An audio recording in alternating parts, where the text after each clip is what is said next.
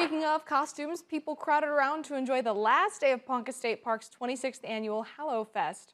Ponca is just one of 13 state parks areas hosting Halloween activities in October, and today was the last of two weekends in October filled with activities at the park. Guests participated in a pumpkin carving contest for all ages. There was also a pumpkin rolling contest, campsite decorating contest, and even more for everyone to contribute. J.R. Cantor, the assistant park superintendent, says his favorite part is seeing the families come together, enjoy the activities while also having a blast at the park. This is why I this is why I do my job to have the people out here make memories because without them I don't have a job and I mean couldn't ask for a better day like today.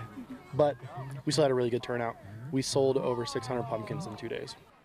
Cantor says later in the year the park will be doing a winter fest with details on that event to come later this year.